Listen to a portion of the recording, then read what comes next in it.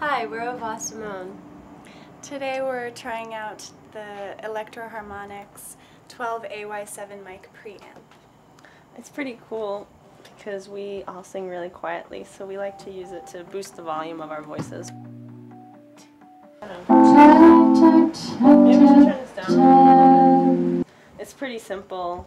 Um, it's got input gain, which is the level going into the preamp, so you can adjust that, and um, and then it's also got an output level, so you can adjust the level going out, which is nice, and then just can power phantom mic. You can cut out the low end if you're having feedback issues, and you can use a phase reverse if your sound isn't optimal. But so, let's try it out for you.